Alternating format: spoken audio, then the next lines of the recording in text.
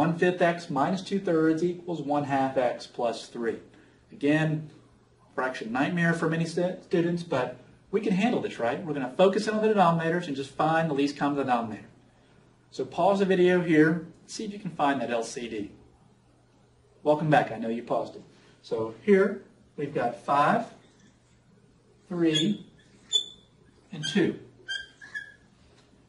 So what, will, what number will all three of these go into? Well, 5 and 3, they'd both go into 15 would work, but we got this 2. 2 doesn't go into 15 evenly. So 15 times 2 is 30. So did they all go into 30? Yes, they do. So we're going to multiply all of these by a 30. Don't forget the little 3 out here. Okay, each term gets multiplied through by the LCD. Easy to not do. Now, one thing I have not said yet, I don't think, but these take practice. I mean, you have to work these. You can't just watch the videos, as great as they are, I know.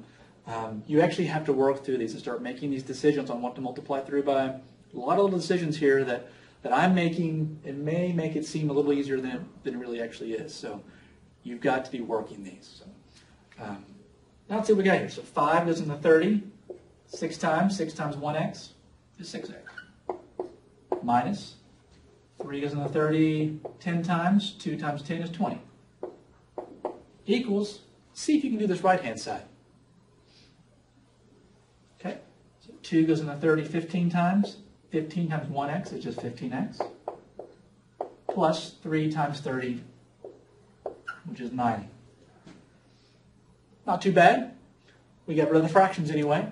So let's do all this in one step here, at least this moving from side to side.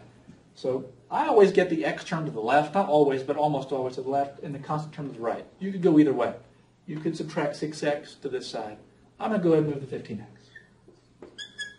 So subtract 15x from both sides. And in that same step, I'm going to move the constant term to the right-hand side. And those cancel.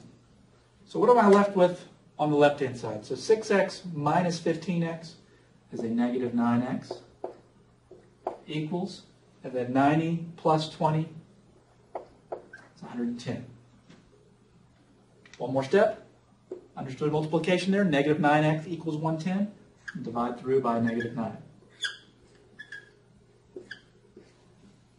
So x equals